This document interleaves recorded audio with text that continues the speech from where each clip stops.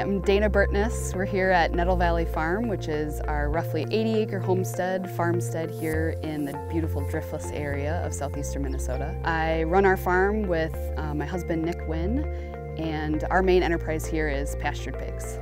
We also run an incubator farm program, so right now we're hosting two young beginning farmers who also have livestock. We share equipment, we share land, and help them sort of get started with the hopes that they will buy their own farms in the near future and stay in the area. Here on Nettle Valley Farm, we raise all of our pigs in a wagon wheel formation. So in the center, we have, you can see that behind us, we have their shade, their feed, and their water.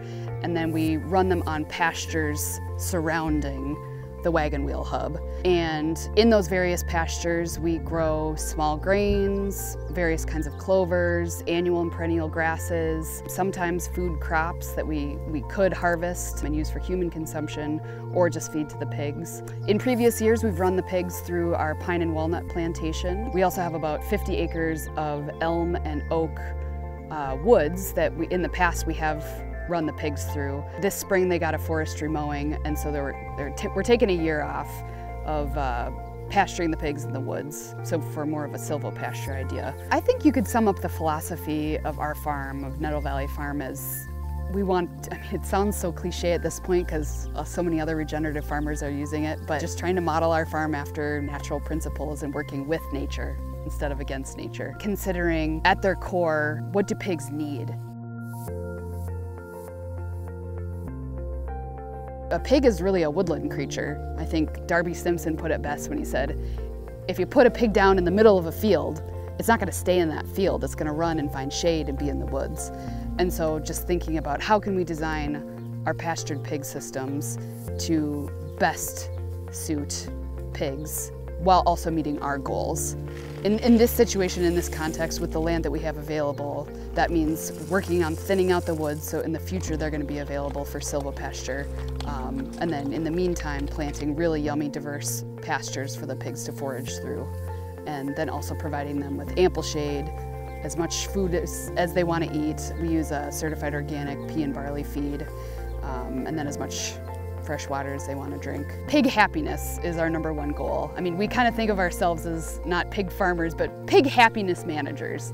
And when you've got a happy pig that is eating what they want to eat, frolicking when they want to frolic, um, having a wide variety of food, lots of exercise, they love to run around, all of that ends up translating into super, super flavorful, nutrient dense food for ourselves and for our community and for the people who support our farm. We think at the end of the day it does mean a safer pork supply because, I mean, there's some really interesting research coming out about where these superbugs come from and there are some really concerning links between factory farms and superbugs that affect not only livestock but then are mutating into potential pandemics that can affect us.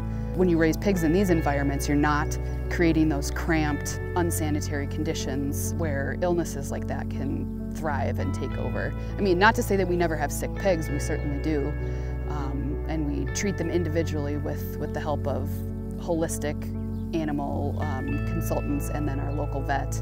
Um, but you don't have thousands of pigs dying from the same virus that somehow bred in a, in a manure pit that's like just feet underneath them. So yeah, I, I do think that pastured animals and incorporating them into regenerative farms is a safer way to raise meat.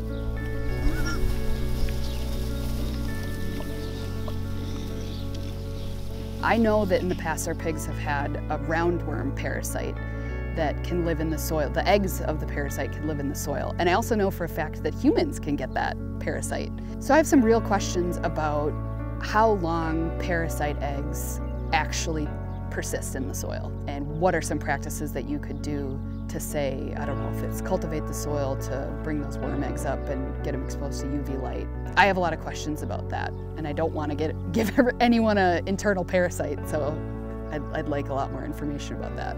So I see the parasite and the, the pig poop issue translating pretty clearly into a tree crop situation.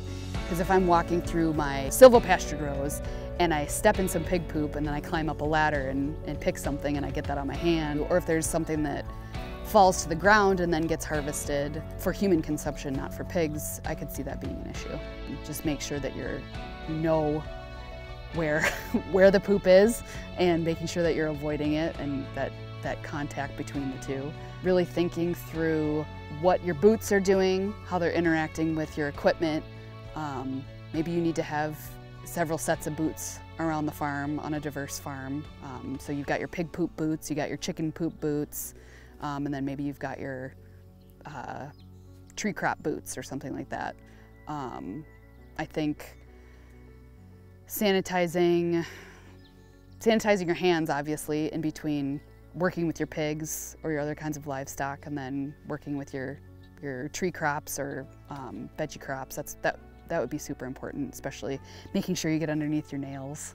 But other than that, I imagine it's going to be a lot of asking folks who have the longest amount or have the most years of experience with incorporating livestock into human consumption crop fields. Like what are their practices and how are you safe and is there any sort of testing that you could do, spot testing on your crop to make sure that you're not getting contaminants.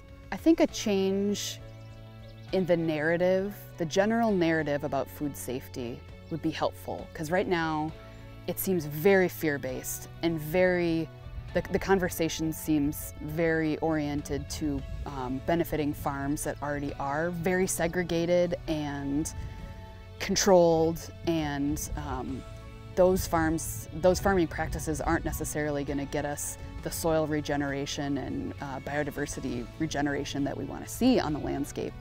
So I think moving away from this idea that any little tiny thing, a bird flying over, over your field, um, is going to contaminate a crop. I mean, I think we do need to take a deep breath, step back, realize that people have been farming in concert with livestock and animals for however long. And we're still here. yeah, all done. All done.